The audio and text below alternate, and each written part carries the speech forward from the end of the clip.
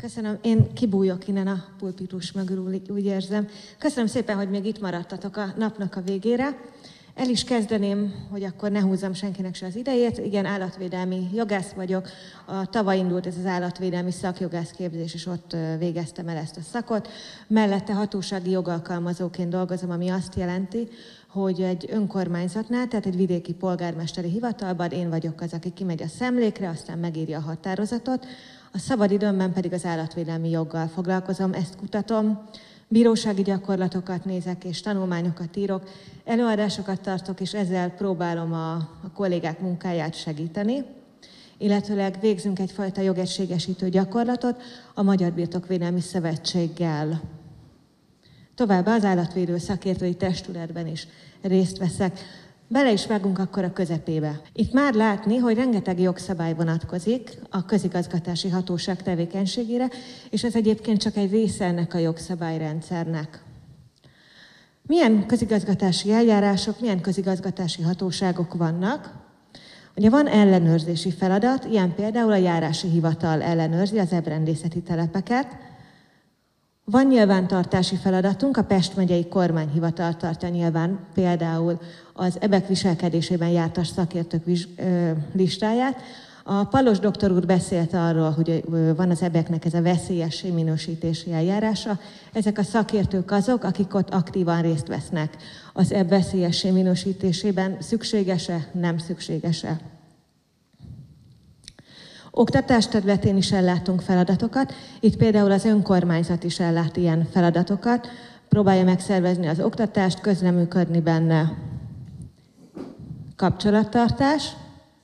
A Nébiknek van például egy nemzetközi feladata. Nagyon tetszett, ahogyan Pallós doktor úr beszélt az állatvédelemről egyébként, ami nem csak kutyákról, meg macskákból el, ugye most leginkább kutyák miatt vagyunk itt, de hát azért az állatvédelem területe nagyobb ennél. És itt például részt veszünk a kékúszójú tonhalnak a védelmében is. És ugye vannak a klasszikus hatósági eljárások. Nagyon szeretem egyébként ezt a kékúszójú tonhal témát, mert ez tényleg nemzetközi együttműködés. Ezek a kékúszójú tonhalak egyébként az Atlanti óceánban éldegélnek, meg a földközi tengeren, tehát hogy viszonylag kevés lehet a Balatonban, mert eddig még nem találtak ott. De mi mégis részt veszünk ezeknek a mentésében, és a mentésében közreműködő szervezetben a Nébih is benne van. És mi ez a klasszikus hatósági eljárás? Erről azért kell beszélnünk, mert a civilek nem látnak bele a közigazgatási eljárásokba, és ennek az előadásnak is az egyik célja az, hogy ne az legyen, hogy az ember bead egy kérelmet, és azután elvész a süllyesztőben, hanem nagyjából tudja, hogy mik a folyamatok. Csak akkor tudunk erről komplett tájékoztatást adni, hogyha civil szervezet a bejelentő, mert magánszemély nem láthat bele, hogy a konkrét ügyben mi történik, de tulajdonképpen minden ügybennek megvannak a saját lépései és típusai. Ilyen hatósági eljárás például a kutya kiszökése, vagy a rossz tartási körülmény. A doboz azt jelképezi, hogy valóban voltam nem is egyszer egyébként ebben a hónapban se. Olyan helyen, ahol a kutyát egy dobozba zárták, kvázi dobozba. Egy olyan kennelt képzeljetek el, ami hézagmentes, például palából van, vagy egymáshoz szögelt lécekből. A kutya egyáltalán nem lát ki, mert ez nagyobb, mint egy ember magasságú, mondjuk nagyobb, mint egy két méteres ember magasságú, hogyha nézzünk valamilyen ember magasság méretet. Tehát gyakorlatilag egy dobozba zárta. De elmondom nektek, hogy nemrég érkezett hozzám egy segítségkérés egy olyan ügyben is, ahol macskákat tart az állattartó, állathordozóban, amiben nem lenne gond, ha abban tartaná, amikor viszi az állatorvoshoz, de hogy ezek a macskák 0-tól 24-ig élnek a hordozóban. Tehát konkrétan van egy ilyen dobozban tartási probléma. És ide tartozik az is, hogyha valamilyen állattámadás van, jellemzően kutyák okozta sérülésről van itt szó. Amelyik hatóság eljár, ez a legáltalánosabb hatóság, mindenki ismeri a jegyző, és mellette eljár a járási hivatal. A jegyző eljár kiszökés esetén, rossz tartási körülmény esetén, a járási hivatal eljár szintén a kiszökés esetén, a rossz tartási körülmény esetén, és eljár az állattámadások esetén is. Tehát a járási hivatalnak, mint látjuk, a feladatköre több, teljesebb, mint a jegyzője, attól függetlenül, hogy mégis mindig a jegyzőt szoktuk hozni, ugye, mint elsőfokú hatóságot, ezek párhuzamos hatóságok. És ugye van egy ilyen speciális feladatkör is, a kóborállattal kapcsolatos feladatoknak az ellátása, ebben szintén részt vesz a jegyző, illetőleg az önkormányzat és az ebrendészet. Természetesen az ebrendészet nem hatóság, és az önkormányzat sem, mint hatóság vesz részt ebben. Hogyan jutnak el, ja igen, ez nagyon fontos, hogy hogyan jutnak el a bejelentések, a panaszok az önkormányzathoz. Eljuthat a bíróságtól, hogyha a bíróság jogerősen elítéli állatkínzás miatt az embert, akkor a bíróság megküldi az iratot, illetőleg ezt a döntést az állatvédelmi hatóságnak, hogy le tudja folytatni a hatósági ellenőrzést. Fontos, amiről a Pallos doktor úr is beszélt, illetőleg a Vetter Szilvi is, hogy hogyan zajlanak ezek az eljárások. Tehát ezek azok a tipikus ügyek, ahol van helye létjogosultság a párhuzamos eljárásnak, mert hogyha az állattartó megsérti a közigazgatási szabályokat és megsérti a büntetőjogi szabályokat, akkor párhuzamosan mehet a két eljárás egymás mellett, de a közigazgatási hatóságnak van egy olyan lehetősége, hogy felfüggeszti a saját eljárását, ameddig a büntető le nem zárul. Nyilván ilyenkor lelassul az egész folyamat, mert egy hatósági eljárásnak a határideje az bruttó 60 nap, tehát ebben nagyjából mindennek benne kell lennie. A büntető eljárás évekig elhúzódhat. És itt van egyébként egy nagyon érdekes, ezt messziről sajnos nem lehet látni, ez egy ügyirat áttétel, illetve nem is ügyirat áttétel, hanem ügyirat áttételről szóló tájékoztatás. Ez nem egy jó gyakorlat álláspontom szerint, tehát itt az esetek többségében az áttétel nem áll meg állatvédelmi ügyben, együttműködés lesz a megoldás. Hogy hogyan értesülünk ugye az intézkedés szükségességéről, van, hogy a rendőrség értesít bennünket, aztán egyéb szervektől ügyiratáttétellel, állatvédelmi őrszolgálatot működtethet az önkormányzat, a polgárőrség, amelyik most ugye kiemelt szerepet kap. Továbbá, hát lássuk be, hogy a hatóság is csak nézi a Facebookot, és nem csak az állatvédelmi hatóság egyébként, hanem a többi hatóság is nézi a Facebookot, tehát aki bármilyen tevékenységet is folytat, ami a jogszabályok határa mentén mozog, mondjuk így, az gondolja meg, hogy folytatja úgy a tevékenységet, hogy nyilvánossá is teszi azt. A lakossági bejelentések nem utolsó sorban, és az állatvédői szakértői testület, amiről a kolléga ugye már beszélt, és ez nagyobb szerepet is szeretne kapni ezen a területen is. Fog is valószínűleg. Megyünk tovább. A lakossági bejelentések hogyan jutnak el hozzánk? Leginkább úgy, hogy akár hiszitek, akár nem, például a kutya ugatása az nem mindenki számára okoz olyan gyönyörűséget, mint Adi Endre számára, és ilyenkor sanszos, hogy be fogják jelenteni. Miért is? Azért, mert ennek a decibele magas és ez sok embert nagyon zavar és irritál, pláne úgy, hogy 80 decibel egy hangosan kiabáló ember, ugye 85 és 122 között mozog a kutyáknak a decibele kennelben, ami hangot kiadnak. 110 decibel egy pneumatikus fúró, így látom, hogy azért itt vannak urak is, tehát talán tudják, hogy miről van szó, mi ez a pneumatikus fúró. És amit ugye kutyás körökben igazából mindenki tud, hogy ha nem tiltjuk le a kutya ugatását, akkor önerősítő viselkedésé válhat, tehát soha nem hagyja abba, a szomszéd megőrül. Érdekességképpen hoztam el, hogy akár hiszitek, akár nem, a Guinness rekordok könyve szerint a Golden Retriever a leghangosabb az összes fajta közül. És ami beszokott még hozzánk futni, az egyébként a kakas kukorékolás. Azt szoktam mondani, hogy a kakas, a jó Istennek a legzseniálisabb találmánya.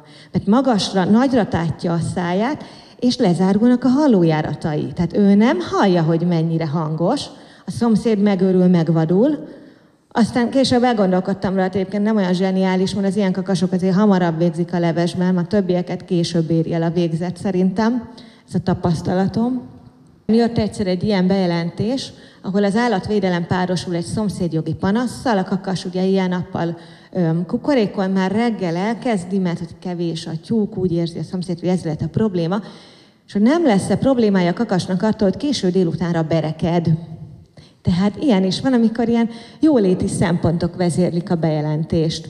És mit szoktunk csinálni, ugye, amikor már nem bírjuk tovább? Mindig azt mondom, hogy vigyünk át egy kis süteményt a szomszédhoz, próbáljuk megbeszélni békés úton. Ha ez nem megy, akkor még mindig van ugye a füldugó, esetleg egy pszichiáter, A költözés, és hát én ezt ki sem mondom, hogy mi marad a végére.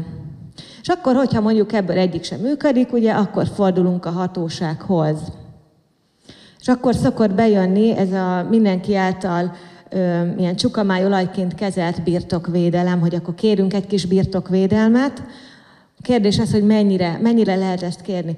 Föltettem a Birtokvédelmi Szövetségnek az elérhetőségét, hogyha valaki úgy érzi, hogy birtokvédelmi kérdésben támad kérd, ö, bármilyen problémája, akkor hívjon bennünket nyugodtan. Nagyon fontos, hogy nem minden jegyzői birtokvédelem, ami annak látszik. Az ugatás, a fényhatás, a szakhatás, ezeket jegyzői birtokvédelemben nem igazán lehet orvosolni. Viszont ugye azt tudni kell, hogy a jegyző egyben állatvédelmi és egyben birtokvédelmi hatóság is. Azt szoktam javasolni a kollégáknak, hogyha állattartással kapcsolatosan érkezik hozzá bármilyen panasz, akár birtokvédelmi köntösben, ki kell menni ellenőrizni, mert sokszor lehet úgy, hogy a birtokvédelmi problémát, vagy birtokvédelmi problémának nevezett problémát állattartási körülmény okozza. Például egy-egy ott hagyott állat, ugye? Az előbb-utóbb bugatni fog, mert éhes, jobbik esetben reméljük, a szomszédok meghallják.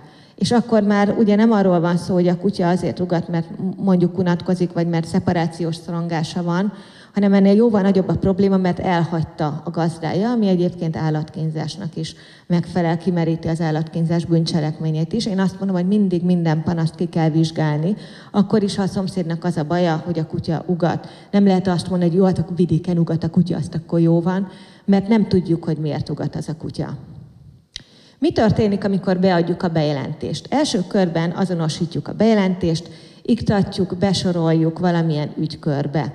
Ezt követően kimegyünk egy hatósági ellenőrzésre, majd az eljárásnak különböző lépései lesznek, ezt majd később átvesszük, hozunk egy döntést, azt végrehajtjuk, és ezt a diát még optimista koromban csináltam, amikor még nem írtam oda, hogy van jogorvoslat is, tehát lehet, hogy nem is hajtjuk annyira végre, ugye mert van jogorvoslati jog, és bírósághoz lehet fordulni az elsőfokú állatvédelmi hatás, hatóság határozatával szemben, ami azt jelenti, hogy nem ez a klasszikus fellebbezési út van a kormányhivatalhoz, amely szerv azért felügyeleti jogot gyakorol az jegyző felett, hanem alapvetően bíróságra lehet elvinni. Kiviheti el a határozatot bíróságra az állattartó, mert ügyfél egyértelmű, illetőleg a civil szervezet bejelentő, mert ügyfélnek minősül, más nem. A hatósági ellenőrzés nagyon fontos, ez tulajdonképpen a szemlére vonatkozó szabályokat hozhatjuk ide. Itt a legfontosabb a jegyzőkönyvezés, hogy legyen megfelelően jegyzőkönyvezve, hogy kiértesítjük-e az ügyfelet vagy nem, az nagyjából tőlünk függ. Állatvédelmi ügyben nem mindig érdemes kiértesíteni az ügyfelet, ez a tapasztalatom. Jó, a rendőrség közreműködését is kérhetjük, ez nagyon érdekes, mert a rendőrségi törvény azt mondja, hogy a határozat, ha van határozat a kezünkben, akkor bemehetünk vele, viszont az eljárások mindig végzéssel indulnak, és akkor az mindig egy nagy kérdés, hogy ott vagyunk az ingatlan előtt, a kezünkben a végzés, ami nem határozat, és akkor mi van? És akkor ugye azzal szoktunk operálni, hogy akkor jöjjön kellő mennyiségű határozott rendőr, és akkor biztosan be fog minket engedni az állattartó, és itt a rendőröknek a fellépése az egyik kerületben ilyen, a másikban olyan, az egyik településen ilyen, a másikban olyan, és akkor ettől függetlenül ugye több-kevesebb akadályjal azért csak sikerül lefolytatni az eljárást, és meg be, bejutni az ingatlanra. Nagyon fontos a jegyzőkönyv. Itt a hatósági jegyzőkönyv is rendkívül fontos, mert ezen megbukhat maga az eljárás, hogyha ez nem teljes körül, és nagyon sokszor tapasztalom, hogy civilek is, amikor részt vesznek egy állatmentési tevékenységben, akkor nem dokumentálják azt teljes körülön, pedig fontos lenne. Ugye ők akkor lépnek be az állattartónak az ingatlanjára, hogyha van rá felhatalmazásuk, tehát hogyha megengedi az állattartó, de ha viszont belépnek, akkor érdemes minden dokumentálni. Készítettem egy nagyon részletes jegyzőkönyvet, ez igazából a Nébiknek köszönhető, a Kutyakötelesség című kiadványa végén van egy részletes szempontrendszer, és azt összeraktam a jogszabályokkal, illetőleg egyfajta adatkezelési ö, tájékoztatóval, így a hatóságok ezt teljes körűen tudják alkalmazni. Ez azért jó, mert nem a saját kezünkkel kell leírni, hogy mik a körülmények, hanem tulajdonképpen csak x meg aláhúzni kell. Van kutyaház, nincs kutyaház, megfelelő, nem megfelelő, felújításra szorul, vagy nem, van-e kint víz, vagy nincs, és ez azért jó, mert hogyha valaki új ebben a szakmában, akkor nem biztos, hogy mindenre kiterjed a figyelme. Vagy például, hogyha már valaki öreg róka a szakmában, de olyat lát, ami lelkileg megérinti, hiszen azért állatvédelemről beszélünk, és bármikor befuthat egy olyan ügy, amikor nehezebb hideg fejjel gondolkodni, akkor is csak végig kell menni ezen a szempontrendszeren, és tulajdonképpen egy teljes körű jegyzőkönyvet tudunk megírni. Ugyanezt megcsináltam egyébként civilek számára is, ez elolvasható és letölthető a dr. Narcsilla jogász oldalról, tehát hogyha valaki szeretne kimenni egy ilyen ellenőrzésre, akkor ezt vigye magával. A végén van egyébként egy lemondó nyilatkozat is, hogy teljes legyen a kép, ki tudja, mi lesz az ilyen eljárásoknak a vége. Ugye itt lényeges az, hogy nagyon ellenszegülni nem lehet ezzel a hatósági akarattal, hogy le akarjuk folytatni az ellenőrzést. Ezért mondom mindig, hogy a civileknek muszáj együttműködniük az állatvédelmi hatósága, mert a hatóságnak van a kezében egy olyan hatalom, ami a civileknek nincs, és ezt tudjuk alkalmazni az állatvédelemnek a jegyében ahol a polgárőr még ugye felmerülhet az eljárás során többek között, hogy lehet hatósági tanú is. Erre nem nagyon szoktunk gondolni, ha viszünk egy hatósági tanút, sokkal jobb olyan embert vinni egyébként, aki egy kicsit jobban tisztában van a körülményekkel és a jogszabályokkal, mint egy laikus, és ezt is szolgálja azt, hogy a polgárőrségnek most az oktatása nagy mértékben elkezdődött. Itt ezeknél mind részt vehet a polgárőr biztosítási intézkedésnél, a szemlénél, a lefoglalásnál, és biztos, amit biztos kiemeltem, az összeférhetetlenséget, tehát arra is kell figyelni, hogy nem mindenki lehet azért hatósági tanú. A hatóság azonnal, de legkésőbb 8 napon belül, a hatósági ellenőrzés lefolytatásától számított 8 napon belül, átteszi az ügyet, hogyha nem ő jár el, tehát hogyha neki nincsen hatásköre lefolytatni az eljárást, Például, hogyha az állatot veszélyesség kell ugye minősíteni, akkor azt inkább a járási hivatal folytatja le. Bejelenti a felügyeleti szervnek, hogyha kizárási ok merült fel. Ilyen, hogyha, hogyha például a polgármesteri hivatal egyik alkalmazottja ellen kell eljárást indítani, akkor ott felmerülhet, hogy a jegyző ne írjon alá olyan határozatot, nem szerencsés. Kötelesek vagyunk megtenni mindazokat az intézkedéseket, amelyek, ahol a késedelem elháríthatatlan kárral, veszéllyel, személyiségi jogok elháríthatatlan sérelmével járna. Ilyenkor ugye értesítjük az illetékes hatóságot.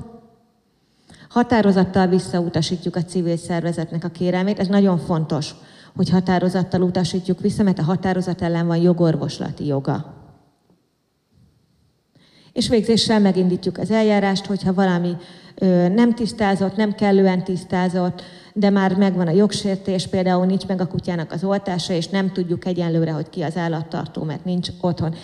Mi történhet még? Meghozzuk a határozatot, ez a legjobb egyébként. Tehát a legtöbb ügy az arról szól, hogy a kutya kiszökött, kerítést kell építeni, nincsen kutyaháza, nincsen kutyaháza téliesítve. Kimegy az ember, egyértelmű ki az állattartó, bekírja az oltási könyvet, megnézi, mondjuk az oltás megvan vagy nincs, az is teljesen egyértelmű, ugye mi hozzáférünk a nébihes nyilvántartáshoz, tehát hogy azt is látjuk, és hogyha megvan minden, akkor felesleges eljárás megindító végzést hozni, mert akkor már aznap megvan a határozat. Erre is vannak egyébként formanyomtatványok, amik keringenek a jegyzők között, mert mondjuk egy kutyaház építésére igazából nem kell nagyon kreatívnak lenni, bent vannak a jogszabályok, az indoklás, és hogy nem volt kutyaház. Persze az adatokkal ki kell egészíteni. Ezek gyorsan, ezek rutinügyek, na ezek viszont gyorsan megvannak.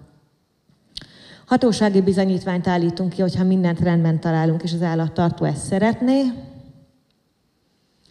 Illetőleg haladéktalanul eljárunk, hogyha az állatvédelmi törvény 6 8. paragrafusában lévő jogszabálysértést érzékelünk, ez tulajdonképpen a közigazgatási állatkínzás, amiről ugye szó volt.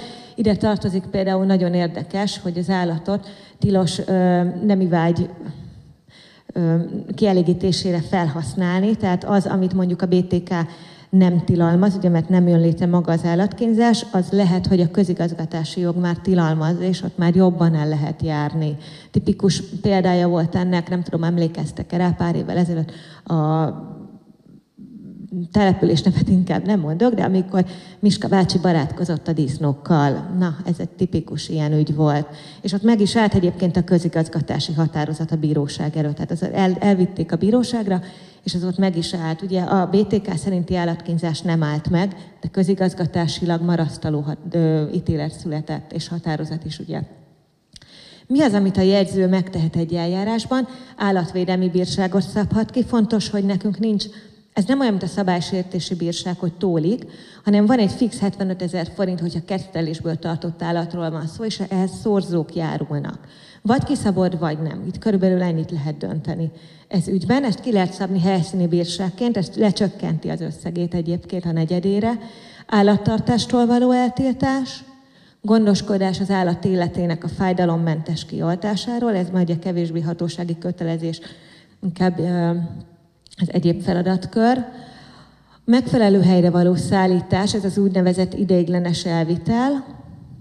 Az élelmiszerfelügyeleti információs rendszerben látjuk az adatokat, ellenőrizzük az állatvédelmi törvényben foglaltak végrehajtását, állatvédelmi őrszolgálatot működtethetünk, illetőleg a koborebek befogásával kapcsolatos feladatokat ellátjuk, ezt inkább így az önkormányzat útján. Az állat megfelelő biztonságos elhelyezése, szökése meg, ö, megakadályozás érdekében ugye építési munkára is kötelezhetünk, kerítésépítés, kennelépítés. Nagyon érdekes, hogy a munkának a nagy része egyébként nem is az, hogy megbeszélgetjük az emberrel, hogy akkor kerítés kéne, vagy hogy kéne, hanem van egy ilyen gyakorlati feladatkörünk, én is voltam a héten egy helyen, és akkor nem az volt a kérdés, hogy meg kell építeni, vagy nem, hanem hogy hogyan alakítsunk ki az, az udvaron egy olyan kennert, ami ugye megfelel a jogszabályoknak, és akkor miből tudjuk ezt összeállítani, és ott áll az ember ö, azt hiszi, hogy hatósági jogalkalmazóként, de igazából nem, hanem valamiféle tanácsadóban, és akkor szedjük össze a palákat, meg a léceket, és akkor látjuk, hogy hogyan lehet ezt úgy összerakni, hogy azért ne legyen olyan nagy bőri a kutyának, hanem megfelelő mozgástérrel és ingerdús környezet legyen. És akkor a munkának, vagy például a kerítésre már nagyon jól tudom, hogy lehet ilyen PVC csövet tenni, és akkor ugye nem tud a kutya rajta kimenni, vagy lehet dupla PVC csövet is tenni, lehet negatív tetőt is tenni. Tehát van a hatósági munkának egy olyan része, ami igazából nem a papírmunka, hanem ilyen coach féle tevékenység. Meghatározott cselekmény végzésére, tűrésére, abbahagyására kötelezünk állattartás korlátozása vagy megtiltása. A jobb oldalt látjátok, olyan messziről biztos, hogy nem látjátok, az állatvédelmi törvény és a vonatkozó rendeletnek az összepázolózásával jön létre egyébként az, hogy meglássuk, melyik hatóságnak milyen jogköre van, és még egyet kihagytam, kettőt, bocsánat, mert más jogszabály is megállapított számunkra feladatkört, ilyen például a kertelésből tartott állatokról szóló rendelet, ellenőrizzük a kutyák mikrocsipjét is, illetőleg ami kimaradt ugye az állatvédelmi oktatásra való kötelezés, ez is egyébként a nébikhez köthető, úgyhogy nagyon, nagyon szeretem a nébik tevékenységét, mert nagyon pozitív dolgokat találnak ki. Ez a Gazdi Jogsi című tanfolyam, nagyon jó egyébként, hogy egy ilyen tesztsoron kell végig menni, a, miután, miután átnézted a tananyagot, van ez a testsor, nem tudom, hogy kitöltöttétek-e, de szerintem itt már sokan igen, és akkor a végén, a, hogyha megbuksz a testsoron, akkor nem ugyanazt a testsort adja, hanem hogy más-más feladatokat ad, és azt hiszem, hogy hát nekem talán ötször sikerült megbuknom valahogy így. Úgyhogy végig tudtam böngésni az egészet, és innen tudom, hogy mindig mások, tehát hogy nagyon rafkós a dolog, ugye? Nem, nem az van, hogy kiírod, hogy akkor a kettes pontban a C válasz, hanem lehet, hogy a kettes pont már nem is a kettes pont lesz. A végén pedig ad egy oklevelet, ami azért jó, mert mi hatóságilag bekérjük az oklevelet, és azzal alátámasztja, ugye, hogy nem csak nyilatkozik arról, hogy elvégezte, hanem akkor mutassa is meg. A másik az egyébként az állatjóléti felelős, az macerásabb, mert az helyszíni képzés, tehát arra nehezen tudod rávenni, hogy vidéken, vidéken dolgoz, ami most jöjjön ide fel az ember állatjóléti képzésre. A nébikhes a, a, ennek a másiknak, a gazdi jogsinak a, hátránya tulajdonképpen, de ez a természetszerűsége is, hogy internetes alapú, és ahol mondjuk nincsen gép, vagy nincsen internet, vagy kisebb ez az olvasóíró tudomány, mondjuk így ott nehezebben lehet rávenni az ember, de a kollégák nagyon ügyesen megoldják, mert például vannak olyan polgármesteri hivatalok, ahol a géphez engedik az embert, és akkor vagy az ügyintéző segít neki kikattintgatni, hogy melyikre gondol, és akkor átbeszélik a jogszabályokat, meg a, a vonatkozó tudományokat, vagy pedig egymaga az ember kikattintgatja. Tehát, hogy itt is ugye van egy ilyen kreatív jogalkalmazás. Hoztam jogesetet is nektek, nem tudom, hogy belefére még az időbe. Bele, köszönöm. Ez a történet idén érkezett be hozzám. Nagyon mindennek jelentősége van, Ö, igen, ide nem fér rá a dátum, vagy vagy lemaradt erről a képről. 2023. januárját írjuk. 16 óra után van. És 16 óra után budapesti futtatóban vagyunk, a, van ez a kis testű kutyák futtatója, és mellette jelzem, hogy ott van a nagy testű kutyák futtatója is. Van egy tibeti mastiff, egy gyönyörű mentett kutya, nem igazán szocializált. És ezt a kutyát örökbe fogadja egy családapa. Egy ilyen általános családapa, nem igazán kutyás, mondhatjuk így is, ezért felfogad egy trénert. Mert, mert látja, hogy ez a kutyához segítség kell. Szerintem ez a legjobb, amit ő tehetett. És akkor a trénerrel már a negyedik, ötödik alkalommal vannak, tudják, hogy a nagytestű kutyákkal egész jól kijön ez a kutya, a kistestűekkel nincs igazán tapasztalatuk. Beviszik ezt a kutyát a kistestű kutyák futtatójába, ott el vannak napközben délután, és egyszer csak ugye négy óra után megérkezik két hölgy ezzel a tacsival. A két hölgy a futtató bejáratánál leveszi a tacsiról a pórázt. A tacsi boldogan előre szalad a masztifhoz. Ezek ott hátul a sarokban szaladnak, ugye, és kiabálnak, hogy ne engedjék el a tacsit a pórázról, de hát ezek megint olyan pillanatok alatt történnek, hogy addigra már a masztifnak a szájába van a tacsi. Hát el tudjátok képzelni ugye az erőviszonyokat. A tacsinak nem sok minden maradt ezután ebből a sok földi jóból, ami még rávárhatott volna, és akkor most megint ott állunk, ugye, hogy megint egy kutya meghalt. És megint van egyik oldalon a gazdi meg a tréner, és a másik oldalon meg a két hölgy. És megint ez a kérdés, hogy ki lehet a felelős a történtekért. Tréner, egyértelmű. Ilyen hozunk. Más. Annyit még segítek, annyit még segítek, hogy az állatvédelmi törvény alapján állattartó az állattulajdonosa, illetve aki a kutyát gondozza, felügyeli. Az illetve szót azt gimnázium negyedik osztályban tanultuk, és per vagy ez a jelentése. Igen, valaki bólogat, tehát valaki még emlékszik, nincs olyan messze azért a középiskola negyedik osztálya. Akkor is a trénert mondanám Csilla, mert az ő felelősség a helyzet. Tehát, hogyha én trénerként egy ilyen kutyát beviszek a kis testőek közé, akkor ha látom, hogy jön be egy kis testő, oda hívom a kutyát, megfogom, és jelzem a kis testű gazdájának, hogy mi történik. De mi van? Négy óra van. Január van, négy óra van. Tök sötét van. Körül van valami világos.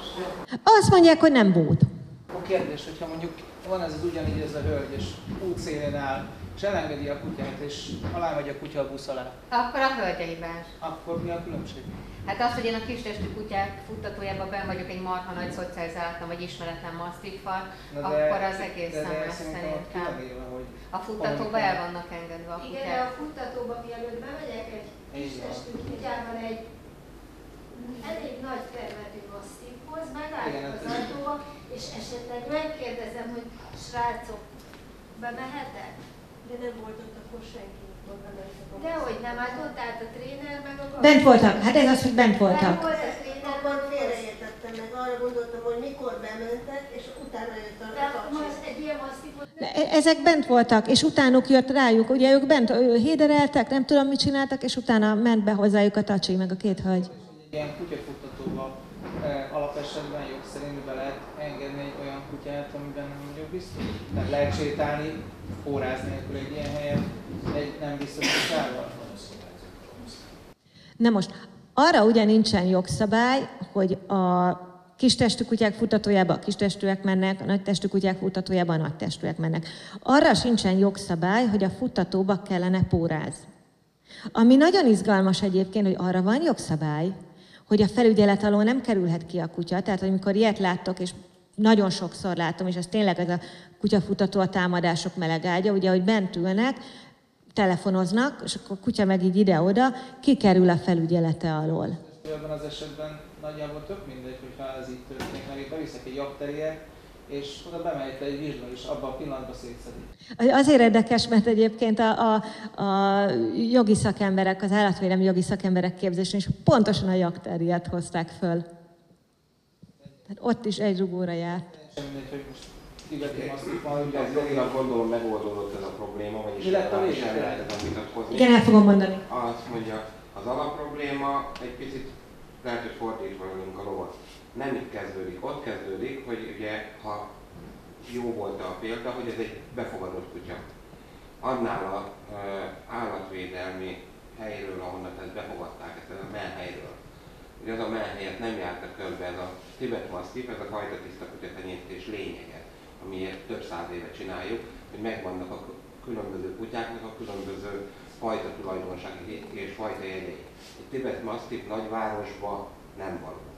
Ezt a, ezt a, ezt a, az a menhely, aki ezt odaadta, egy budapesti laphelyre ezt a kutyát, már maga az hibát követett el.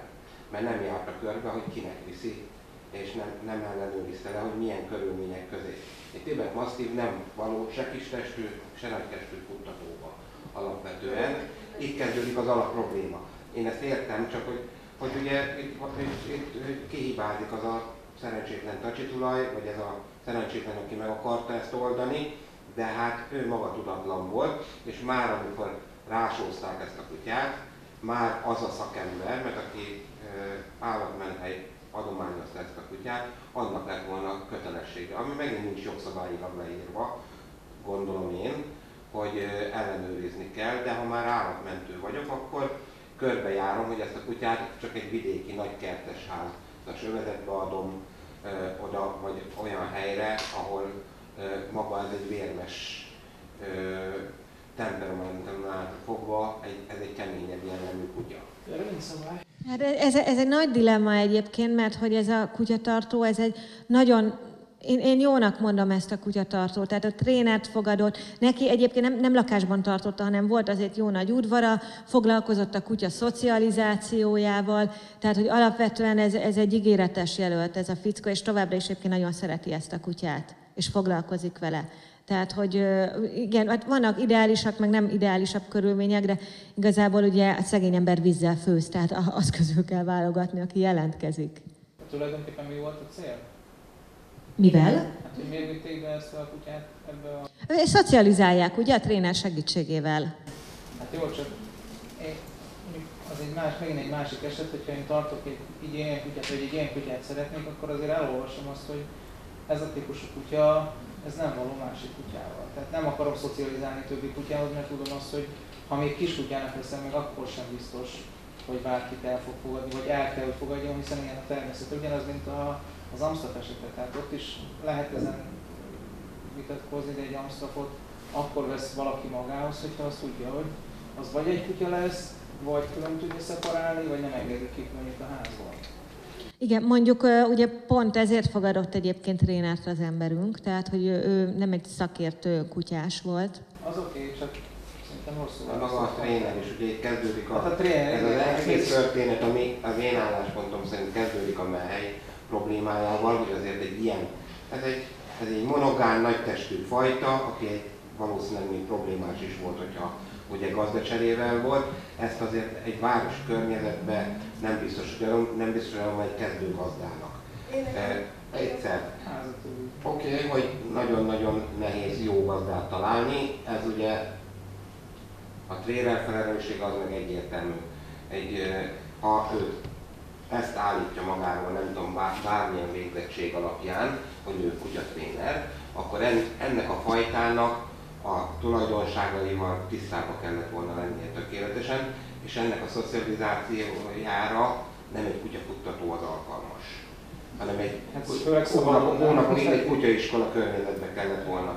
Úgyhogy ezért e, ráadásul ugye tacsinak hívjuk azt a tacsit, de én mint tenyésztem ezt a fajtát, ez egy nagyon kemény, kőkemény e, vadászkutya fajta, ami ráadásul meg is tévedhette egy ilyen délután négy órai sötétező szituációban.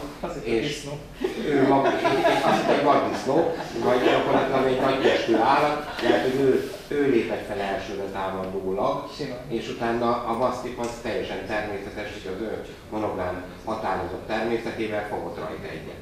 Úgyhogy ez kutyás szemmel egy picit teljesen más, mint jogilag, én értem. Csak Igen, azért mondom ezeknek. No, és mi lett a vége? 800 ezer forint lett a vége. A jegyző szabta ki. A 800 ezer forint könnyen összejön, mert 75 ezer forint az alap, ugye kell egy-két szorzó, aztán bum, már össze is jön. Tehát ez egy, ez egy korrekt összeg, ez, ez csak simán kijön. És az állattartóra szabta ki, aki nem más, ugye ez olyan, mint a voice-ban, amikor jön a szavazás vége. Tehát a, nem más ez az állattartó, mint a tibetív mastiffnak a gazdája. Tehát, hogy a jegyző az nem sokat totojázott azon, hogy itt az állattartót megállapítsa. Na most ugye, aki a kutyát gondozza, felügyeli, ők ketten voltak bent, a tréner meg az állattartó, a, a, bocsánat, a tréner meg a tulajdonos. A tulajdonos hívott engem, hogy mit tegyen ezzel a dologgal. Most el tudta volna vinni ezt a határozatot a bíróságra. És ugye itt több verzió is van, az A variáció, hogy nem ad helyt a bíróság ennek a kérelemnek.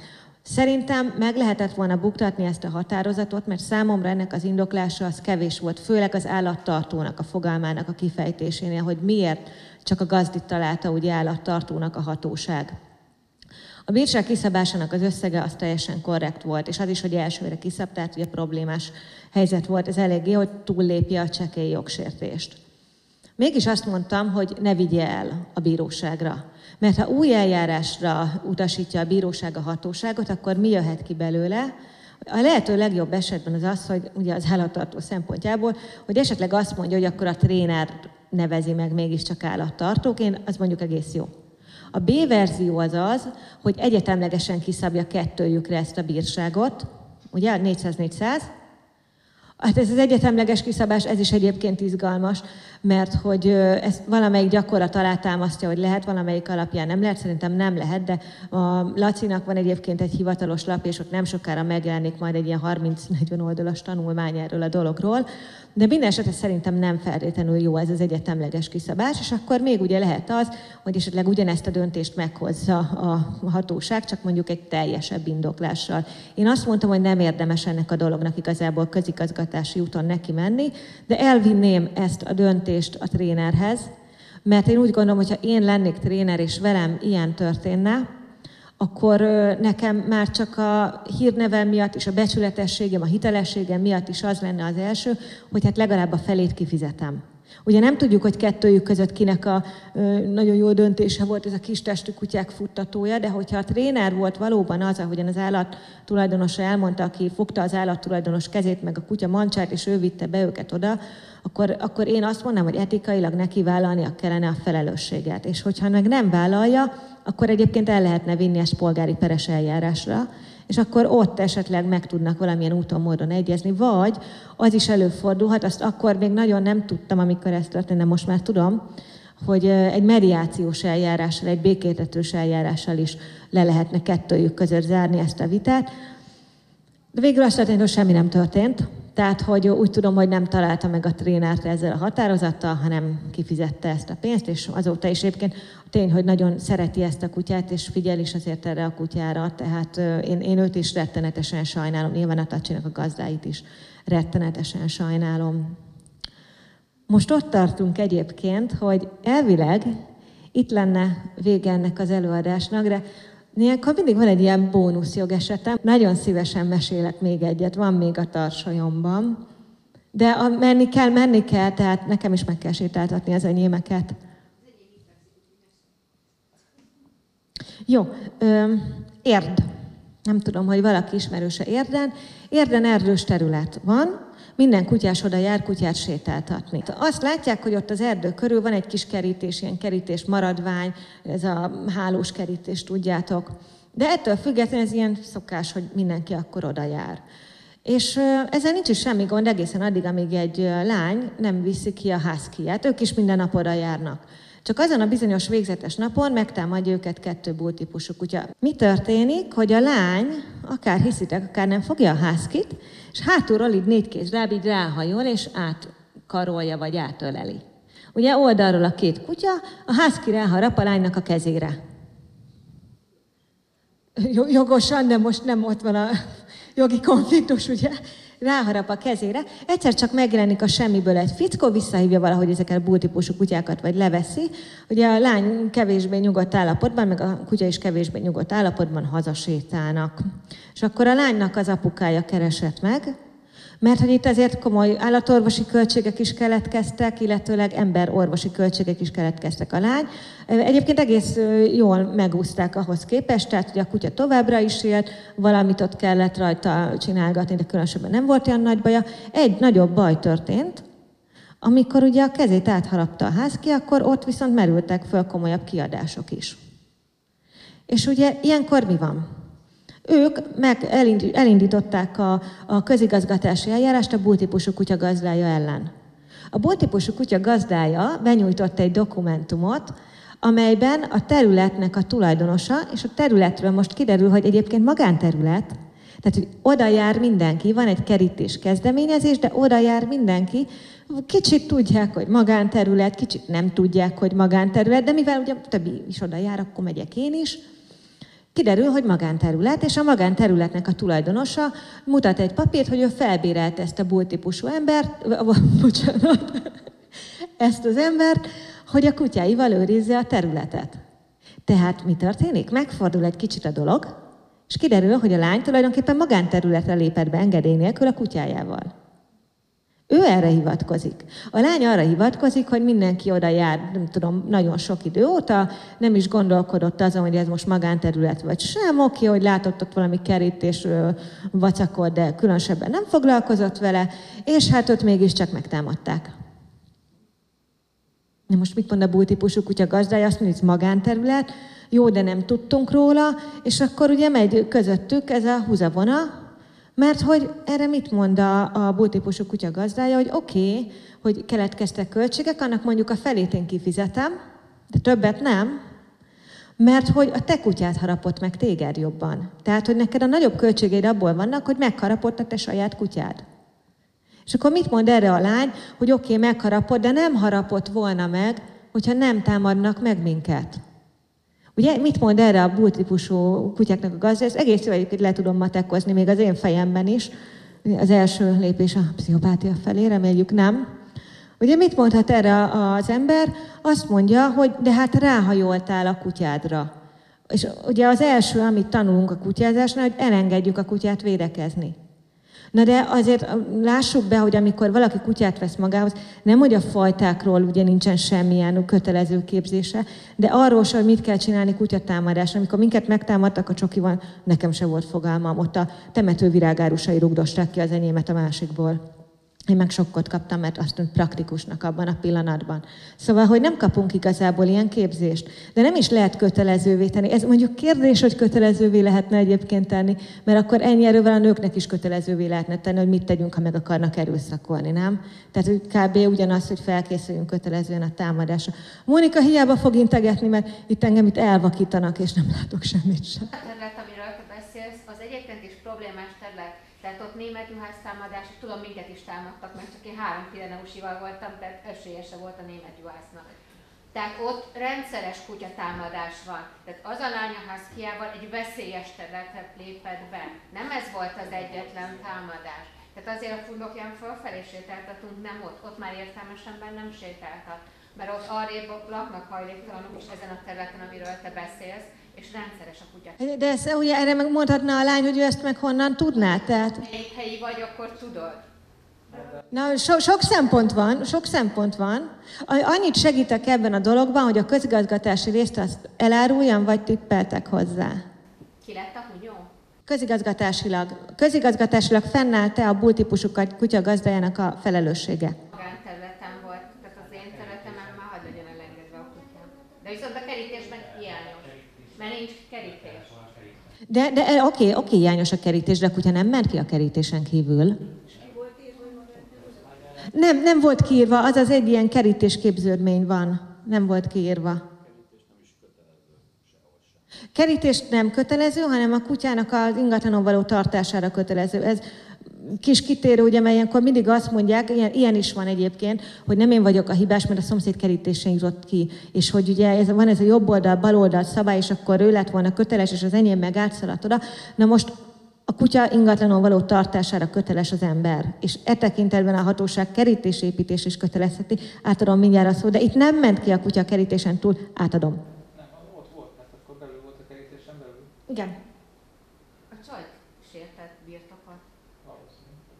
Hát jó, de ez most nem birtokvédelmi eljárás. De ez egyébként tipikus birtokvédelmi eljárás, nagyon jó példa. Na ez például jó lenne rá, igen, amikor így átjárnak egymáshoz az emberek, ilyen is van, nem tehetnék meg. Na ez jó birtokvédelmi eljárásra lenne, de ez most nem az. A közigazgatási hatóság a bútípusú kutya gazdáját felmentette a felelősség alól, tehát nem állapította meg a felelősségét. És akkor ugye itt van a lánynak az apja, a számlákat lobogtatva, és azt mondja, hogy, hogy én azt akarom, hogy ez a bull-típusú kutya gazdája, ez fizessen ki minden költséget. Tehát nem állunk meg 50%-nál. Hát mi, nem tudtam a hapsit, a, a lánynak az apját lebeszélni a perről. Szerintem abszolút rossz megoldás a per, mert, mert látjuk, hogy sokféle megoldás van. Tehát, hogy itt a bíróság se fogja azt mondani, hogy egyértelműen ezt, vagy egyértelműen azt terhelik a költségek. Tehát az ember fizesse meg a saját költségeit, vagy a másik ember fizesse meg az összes költséget. Biztos, hogy valamiféle fajta kár megosztás lesz, és akkor mellette még ugye fizethetik a pereskedést is. Úgyhogy mondom, akkor még nem tudtam erről a mediátori dologról, elküldtem őket ügyvédhez, és az ügyvédnek sikerült vele egyébként megbeszélnie az, az apával, hogy ne vigye el bíróságra, tehát hogy ő is meggyőzte, hogy ne vigye el bíróságra, mert nem fognak jobban járni, ezzel az 50%-kal ezzel igazából meg kell elégedni. Most nagyon reklámozom egyébként mindenhol ezt a mediátori dolgot, mert ez négy hónap alatt összeülteti a feleket, és megoldást talál, és jóval takarékosabban kijönnek, mint hogy mondjuk perlekedési eljárásba kezdenének. Csak sajnos Magyarországon még kevésbé ismert intézmény, de próbálom népszerűsíteni, mert igazából ez sokkal jobb, mert a bíróság hozhat olyan ítéletet is a végén, amivel aztán egyik fél se elégedett, és a konfliktust igazából nem fogja ezzel rendezni. A jognak adott egy jó pontot, mert mondjuk a jog mentén döntött, de a felek konfliktusát nem biztos, hogy úgy rendezi, mintha ezek leülnének egymással egy közvetítő segítségével beszélni.